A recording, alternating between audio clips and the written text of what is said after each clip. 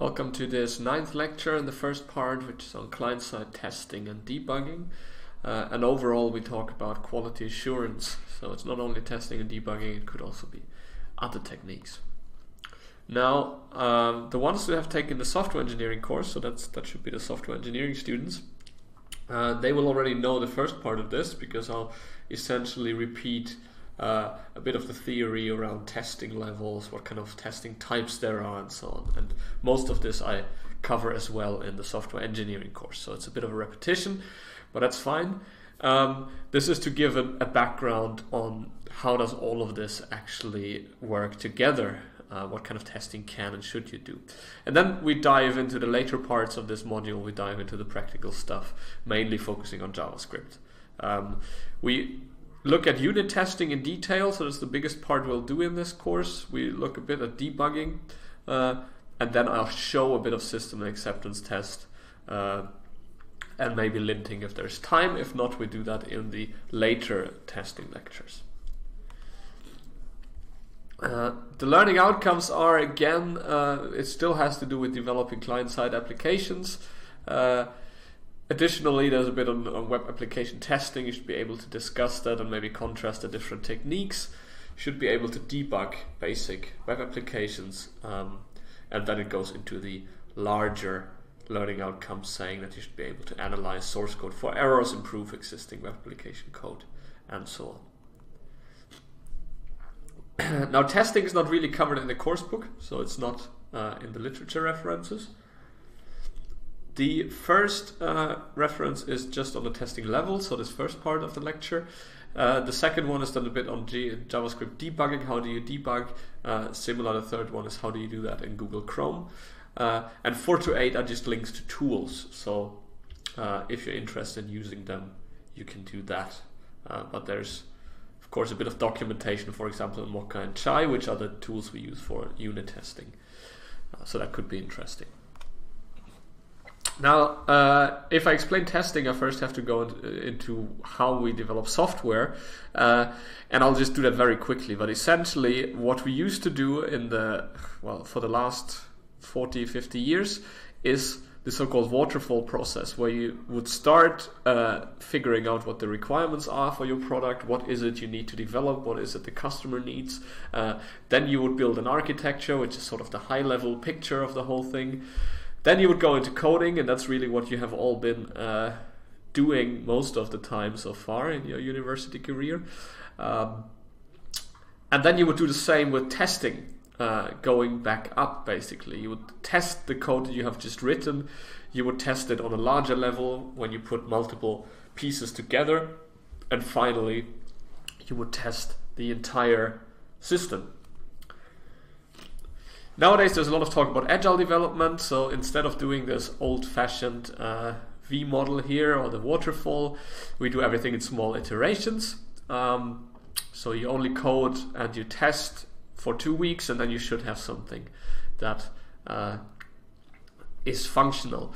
Now, the idea is a bit that you don't need that much requirements in architecture. Uh, the reality is a bit different. This is sort of a fairy tale. You need all of these things.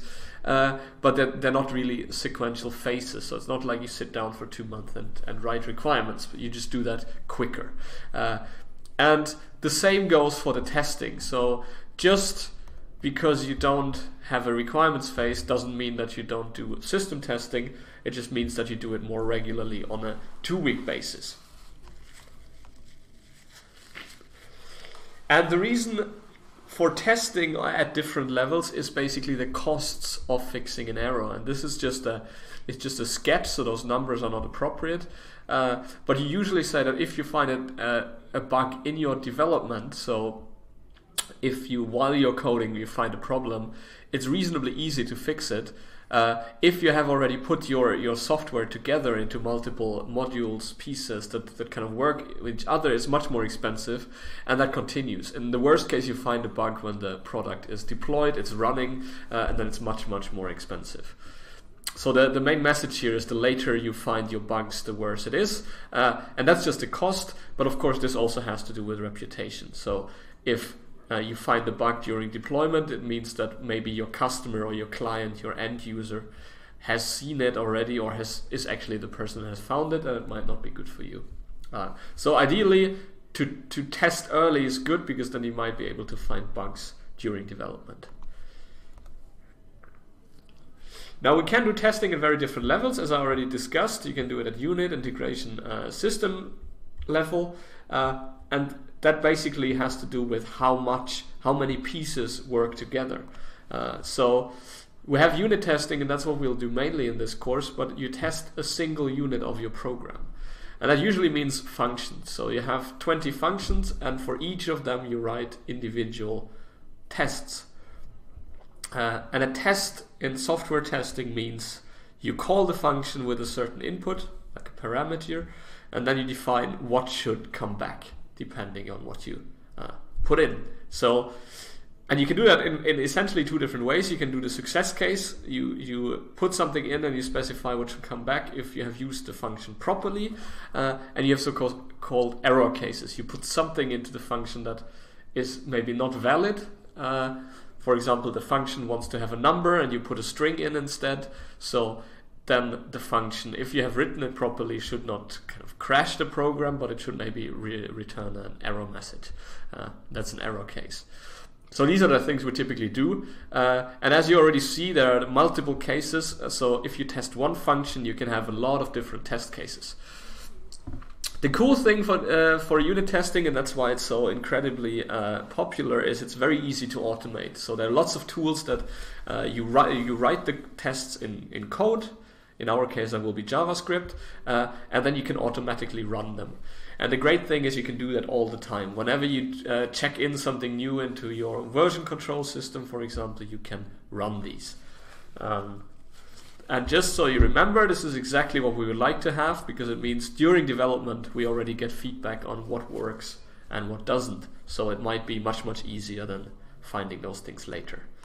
Uh, so we'll focus a lot of unit testing and uh, not so much on the other things. I'll just show tools for that.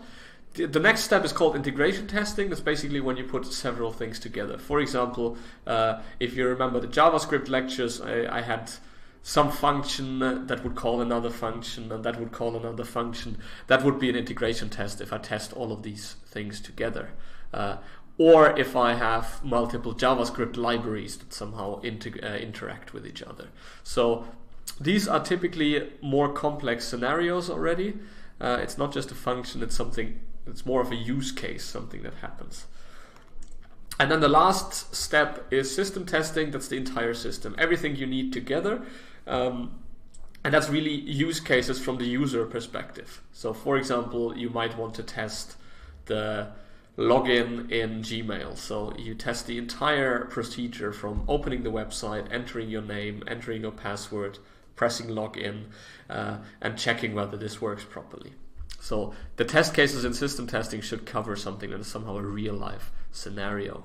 Uh, this is really difficult because this includes the entire system. So it's the user interface, like the HTML code, for example, it's the JavaScript client side code, it's the database, it's the backend code, it might also be the hardware, is your server working correctly, and so on. So it's a lot of different pieces that can break, uh, and if you want to automate this, it's actually not that easy. And then finally, we have something that's called acceptance testing. That's very similar to system testing. We test the entire system, but it's sort of from a customer perspective. Uh, so in the past, what you did in acceptance testing, where you went through the requirements that you had written down and you checked each of them, uh, but it basically has to do with the functionality that, that the end user would really see in the end. Uh, in system testing, you might test stuff that is not really uh, concerned with kind of visible functionality, it's sort of things in the back. Um, this is even harder to automate for the same reasons as system testing, but additionally, also somehow have to include the customer. Uh, so you need to, and the customer is usually not a programmer, so they might not be able to write your acceptance test cases. Uh, so basically, uh, the higher we go up on the hierarchy, the more of the system we test, uh, and the harder it gets to automate. Down here, we have small tests for small pieces of our code, and they're very easy to automate. So we will focus a lot on this. Then there are other ways of looking at this. So far, I've, I've kind of looked at the levels, the, the abstraction of our system. Uh, you can also look at testing types. So you can test UI, you can test user experience, uh, you can do so called functional testing, testing your functional code. You can test the performance, how quick is the system, and so on. So these are kind of different concerns, different quality attributes that you might want to uh, test. And of course, if you, for example, do performance testing, what you do is you execute some code and you measure how long does it take until I get an answer. For example, how long does the answer to my HTTP request take? And finally, uh, there is also a question about how do we actually test. We can automate testing, automate testing. Uh, we have manual testing, very common still. We have something that's called exploratory testing, where you don't have a defined test case, but you basically explore uh, like a user clicking around in a website, for example. Uh, we have one thing that's very important that's regression testing. Uh, that basically means that whenever you find a bug in your system, you write a test that would reproduce the bug, something that would cause it, uh, and then you fix it. So, for example, let's say I have a website, I have to enter a username, I have to press login, uh, and I figure out at some point if I leave the username field empty and I press the button, then the system crashes. Uh, so then I would write a test that would exactly reproduce this behavior. I would uh, keep the input field empty, press the button, and then have a, a check that the system is still running. Uh, so basically, you then have a test that if this bug ever happens again, we will automatically find it. Uh, and the reason we do this is that quite often bugs disappear, you fix them, and then later they come back. Uh, so if you already have a test that checks automatically for these bugs, you will directly figure out when it's coming back, basically. And there are other things, mutation testing, fuzz testing, they are uh, more advanced and we don't go much into that.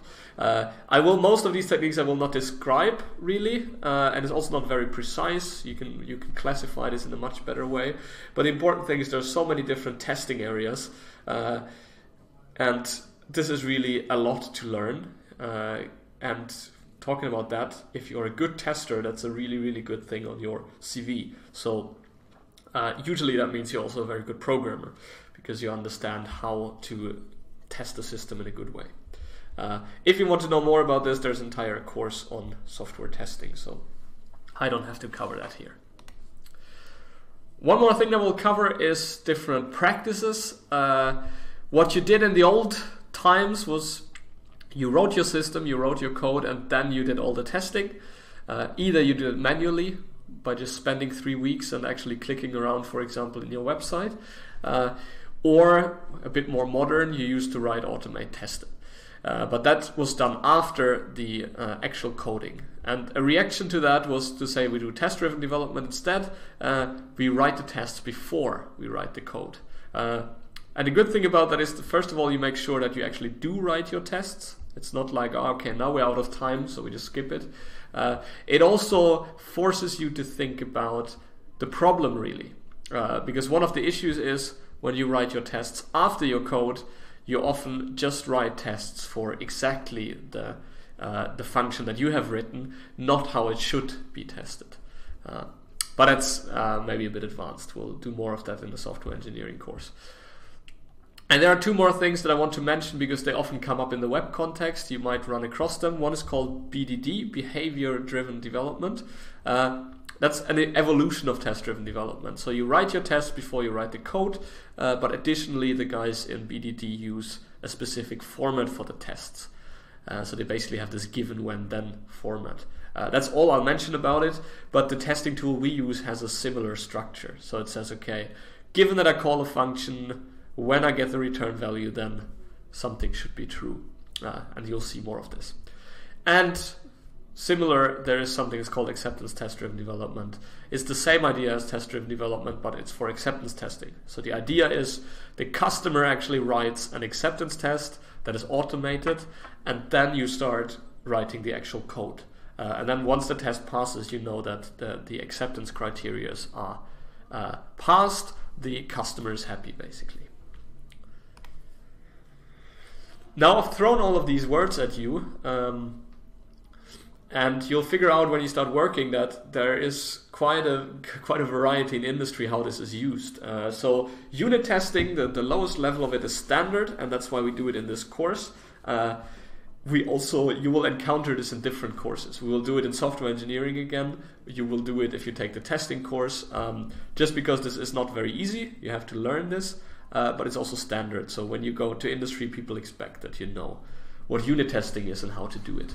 Uh, it's very common. Regression testing is also very common, uh, often in combination. So you basically, when you find a bug, you write an automated unit test that reproduces it. All the rest I've shown you varies a lot. Um, some companies really don't do much more than some basic unit testing. I've seen companies that do everything that you can do essentially. Um, the big companies, of course, are very good at this. Uh, Facebook is known to be very good at testing automated testing. Uh, but it also depends on what kind of company do you have, what kind of products do they work with. Uh, is it a information system that no one cares about, or is it a I don't know an airplane that might crash? So of course this happens. Uh, there are different dimensions to this, and again, this is something that becomes much more important in the software engineering course. For now, we'll just skip that. Now, practically, what does this mean for our course? We have so far covered three things, HTML, CSS, and JavaScript. Um, and the question is, how do we test this? Um, we would like to test different things, but we'll essentially focus on JavaScript for multiple reasons. Um, we'll also do a little bit of debugging because that's quite useful one important thing is, uh, and I learned that much more last year in this course, testing is really difficult for a lot of people to understand uh, because it, it has a slightly different mindset than regular programming. Um, and we'll come back to that. But in testing, you essentially always try to write a test case that's very concrete. It tests one specific thing, uh, so that when you when the test fails, you know exactly what went wrong. Programming in general is a bit different because you often try to solve a problem very general, so it should work for all kinds of inputs, for example. Uh, so testing is, is slightly different. You'll see that.